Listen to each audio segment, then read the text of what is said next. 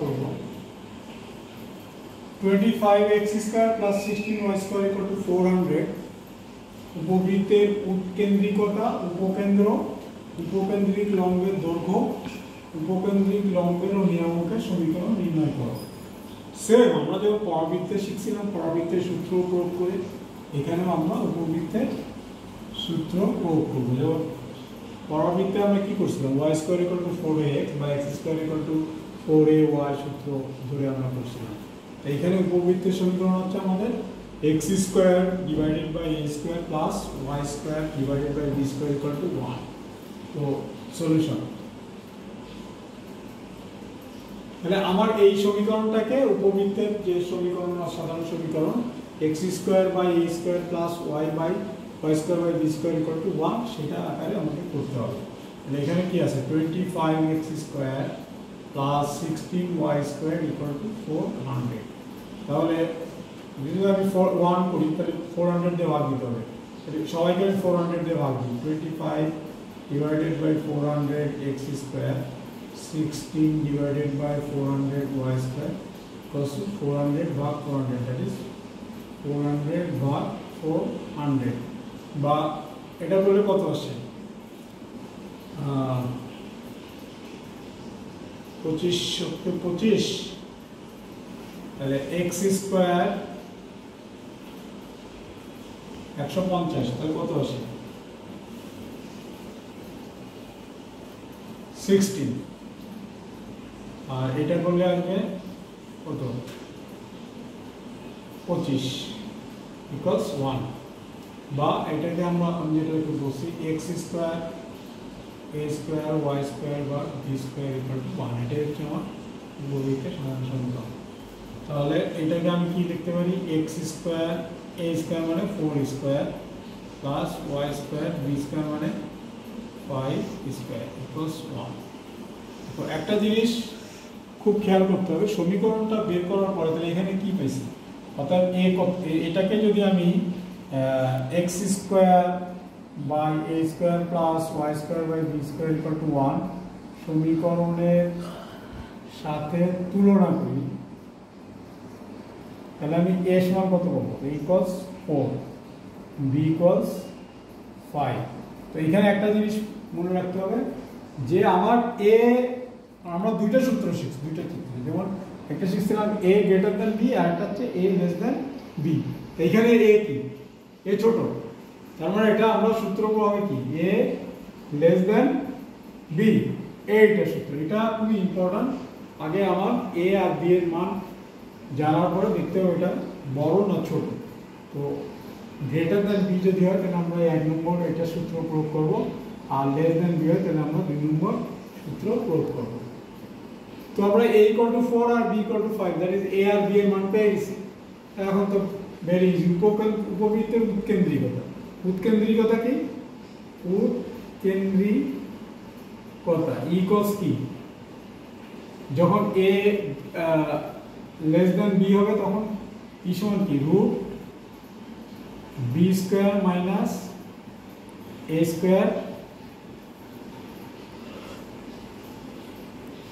বা B square right আমি বির মান তো জানি ফাইভ স্কোয়ার এর মানও জানি ফোর স্কোয়ার বি এর মানও জানি ফাইভ স্কোয়ার রুট তাহলে এটা কত আসবে twenty five minus sixteen divided by twenty five nine divided by 25 that is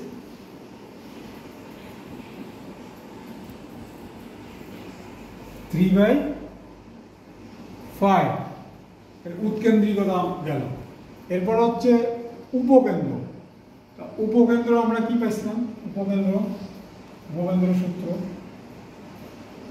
A A less than B এর ক্ষেত্রে উপকেন্দ্র আমরা কি পাইছি? উপকেন্দ্র হচ্ছে zero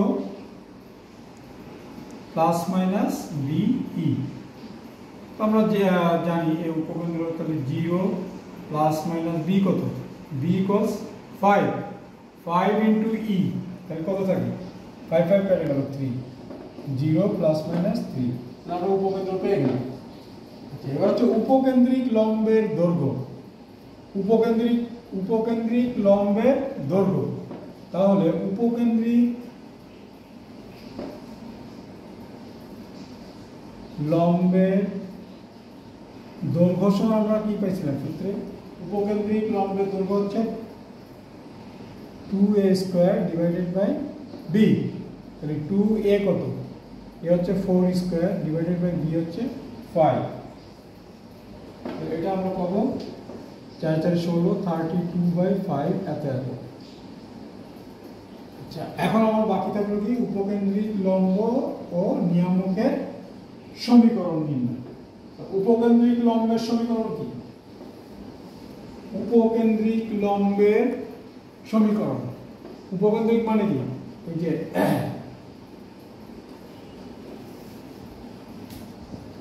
এই তো এই লম্বের সমীকরণ।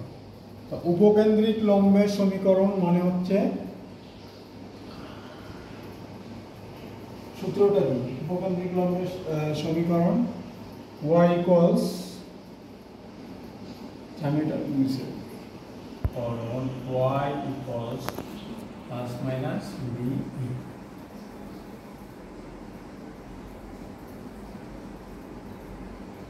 এটার ক্ষেত্রে আমার উপকেন্দ্রিক লম্বের সমীকরণ হচ্ছে কি এটা। Y অক্ষের উপর লম্বের সমীকরণ বা x অক্ষের সমান্তরাল সমীকরণ। তাহলে y equal to plus minus B তা প্লাস মাইনাস বি কত? B cos 5 e কত? E cos 3 by 5 it is 5 5 চলে গেল প্লাস মাইনাস 3 তাহলে y equal to? Plus minus 3 এরপর হচ্ছে নিয়ামকের সমীকরণ। নিয়ামকের সমীকরণ কি? সূত্র? সমীকরণ Y equal to plus minus B ভাগ ই এখানে জাস্ট মান বসায় দাও। b কত? cos 5 5 আর ই কত? থ্রি বাই ফাইভ উল্টে যাবে 5 ইন্টু ভাগ three that is plus minus 25 by 3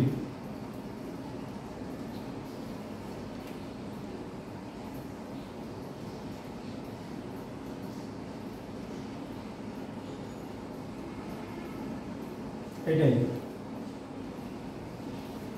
তাহলে আমরা উৎকেন্দ্রিকতা শিখলাম, উপকেন্দ্র, উপকেন্দ্রিক লম্ব এরকম একটা সমীকরণ দেওয়া থাক- থাকতে পারে। বিভিন্ন আমরা যেগুলো শিখছি শীর্ষবিন্দু উপকেন্দ্র, উপকেন্দ্রিক লম্ব দেবো জাস্ট সূত্র প্রয়োগ করে আমরা অঙ্কগুলো করব। তবে একটা জিনিস খেয়াল রাখতে হবে যে এটা কোন সূত্র? এ গ্রেটার দেন বি না এ গ্রেটার দেন বি এ এ এবং বি বের করার পরে এটা কম্পেয়ার করে তারপরে আমাদেরকে সেভাবে সূত্র প্রয়োগ করতে হবে।